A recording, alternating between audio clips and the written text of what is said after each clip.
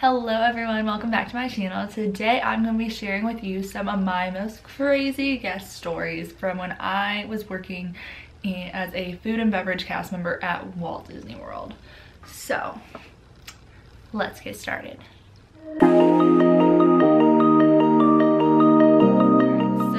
You may have mentioned that I said was working. I do still work for the Walt Disney Company. Um, I do still work at Disney World. I am still a Walt Disney World cast member, but I am not still in, um, I am not still a quick service food and beverage cast member. Thank goodness.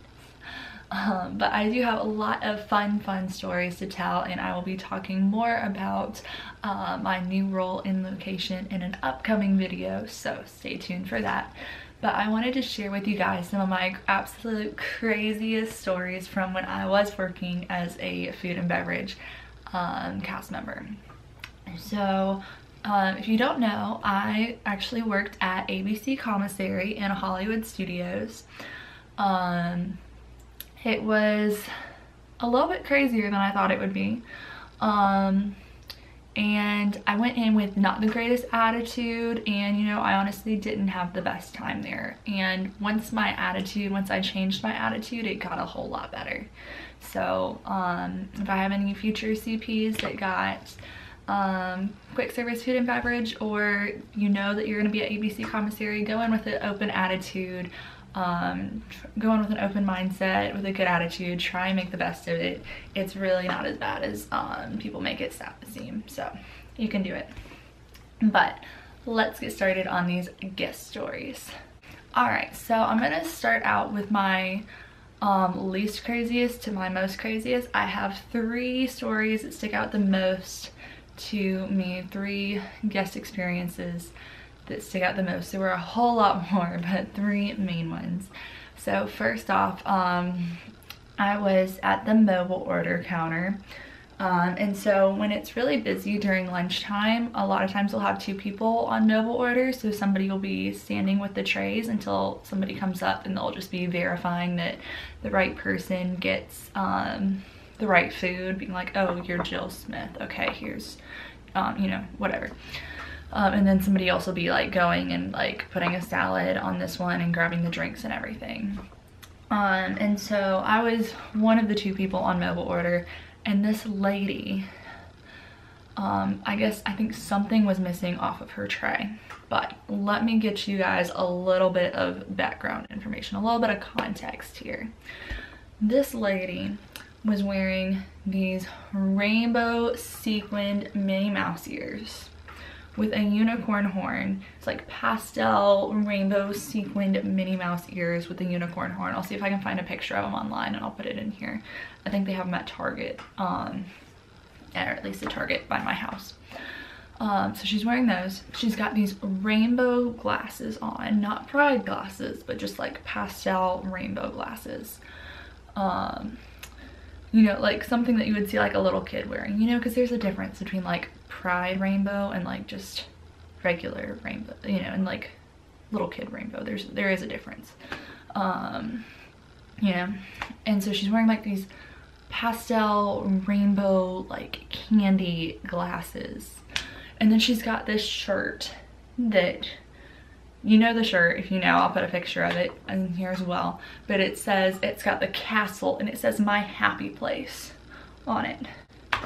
And this lady starts throwing a temper tantrum because something was missing off of her tray. I mean, she picks up something and threw it back down on the tray, starts yelling and screaming. And on top of this, right before this happens, she just yelled at her like five-year-old daughter to start to, because she wasn't behaving.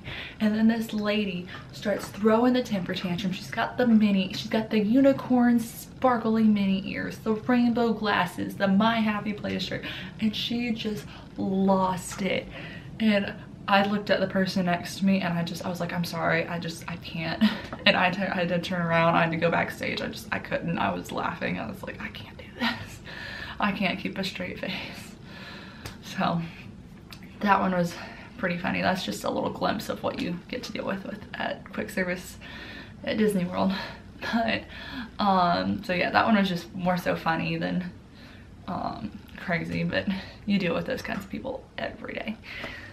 That's fun. A lot of people, a lot of the craziness that you deal with in food, it doesn't really, like, you are gonna have a lot of people that yell at you that's just working at Disney, but it's something that, like, it happens and then when they walk away, you turn to your friend and you start laughing. Like, it's like, okay, what? Um, okay, so my next story is really, really crazy. Um, so I was out in the dining room and I was on floating busser. So basically I was just helping out whoever was in the dining room, whoever needed help. Um, just basically just helping wipe down tables because it gets crazy um, around lunchtime because there's so many people. So, you know, as soon as one family gets up, another family sits down just because that's what you have to do when you're at Disney and you're trying to find a table to sit and eat lunch. Um, so I was helping out, just wipe down tables and things. And I come to this table and it's a dirty table and it has a phone and sunglasses on it. And so, um, and it was empty, but it was really dirty. And I was like, okay, you know, a family probably just got up and somebody left their phone. It's, you know, I saw a family by the door. So I was like, okay, well, I'll just wait a minute here. I'll clean the table if somebody, and I'll see if somebody comes back. So I did, I cleaned the table, I picked up the phone, just wiped down the table, put it back down, and just kind of stood there for a couple minutes and I didn't see anybody coming back, so I went and took the phone to my coordinator. And I come back out and this man just starts yelling at me. He goes, did you take my phone? And I was like, oh, um, I did just find a phone on a table, so I went and took it back to my coordinator for lost and found. I didn't want anyone to steal it. And he goes, that was saving my table. And I was like, oh, um,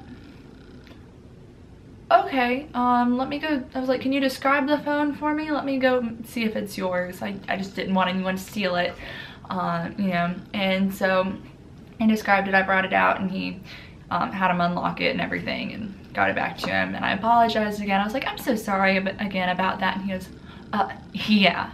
And I was like, okay. Like, like sorry, I don't know. I just kind of walked away. I was like, I don't know what his problem is. Like, okay. Went back and just went back to my job, I told a couple friends like that I told a couple of my coworkers what had gone on that this man had like given me a really rough time. And every time I looked up, I just saw him like glaring at me. And I was like, you know what? I did not come here. I did not come to work today to have to deal with this. So I went around, um, I went backstage and basically at ABC Commissary, there's two sides of the dining room. And so I had been on the one side for a little bit. I was like, you guys look like you have this side under control. This man's giving me a really rough time. I don't really feel comfortable staying over here, so I'm gonna go help out on the other side. And so I went around backstage so he didn't see me go over because I didn't want him following me or anything.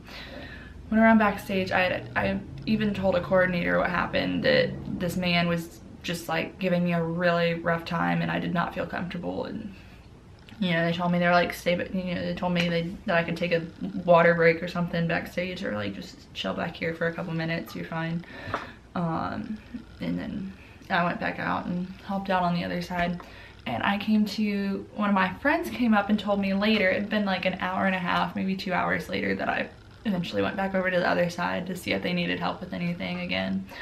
And one of my friends on that side told me that he had actually gone up to her later and had complained about me and said that it was the worst service he had ever experienced and all this, that, and the other, and that he wouldn't be back. And I don't even know, but I mean, like, my coordinator told me, she's like, I mean, you're supposed to, if you see a phone, you're supposed to turn it in. Like, that's what you're supposed to do, so. And my friend told him that. She was like, were you the man that happened to, like, leave his phone on the table? And he was like, yes, I was. And she's like, well, yeah, um, you know, that's just our protocol. When we see an item of value, we are supposed to turn it into lost and found with, um, with one of our managers. That, that way nobody steals it or anything. And he was just a not happy man. He, I don't know, something, he had a rough day. I. But my last story, um, my for my last story this is probably the craziest thing that has ever i've ever seen in a restaurant ever. Only at disney. Um, but this was on the day of our state inspection. So um, restaurants at disney go through a state inspection as well. Um, and so basically what happened was we had the inspector walking around. We had Um, one of my leaders, which if you don't know how Disney works, you have coordinators, which are kind of like shift managers almost, and then you have leaders, which are like the big managers. Um, and so I, there was a leader, there were both of our chefs, um, there was I think an area leader, like a higher up leader, and then there was the state inspector walking around our kitchen throughout the day. And so they were walking around and, you know, things move a little bit slowly, slower when you have an inspector going through. Everybody's being extra cautious. Um, you know, they have to pause stuff. They have to pause some of the processes so people can, so the inspector can check um, temperatures and, you know, everything. They have to ask people questions and all that. So stuff does move a little bit slower. Um, but um, this man on the counter was not, so I was working on the counter that day and this man was not happy that he, with how long he had waited for his food. And so he sees that there's a big entourage of important people walking around the back. And he starts yelling back at the inspector. And I was um, I was working I was getting somebody beer um, because at ABC commissary we serve beer. And what had happened was um, our Bud Light had run out downstairs in the keg room so somebody was changing the keg um, so I was waiting for that so my back was actually turned away. I was I kept on checking to see if they had changed it yet. Um, but he sees that there's basically this entourage of people and they had come around the front of the counter to check the coolers um, on the counter and this man starts yelling at the inspector. I kid you not. He starts yelling at the inspector, you need to get out of these people's way. These people cannot do their job when you are back here. I don't know who you are, but all of you important people need to leave because I have been waiting too long for my for my cheeseburger and you need to leave because these people cannot do their job right when you're here. And he went off. I am not kidding. He kept going until they were out of sight. And I was like, and luckily my back, like I said, my back was turned because I was like pouring beer. And I was laughing. I was like, oh my gosh, I cannot believe he just did that. Like, I was like, oh my gosh, like who on earth has, like who does that? Who goes into a restaurant and yells at the freaking inspector?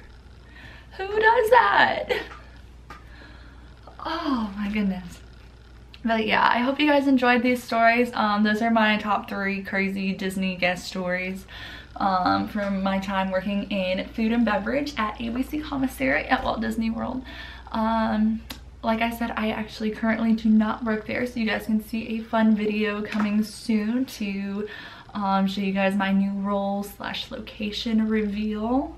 Um, I have a new super, super fun role location. I'm so excited to show you guys. Um, so yeah. But i hope you guys enjoyed this video. If you do go leave it a big thumbs up. Go hit that subscribe button down below and leave a comment. Say hi. Don't be shy. Start up a conversation. Meet somebody new. Um yeah that's what's happening. And i'll see y'all real soon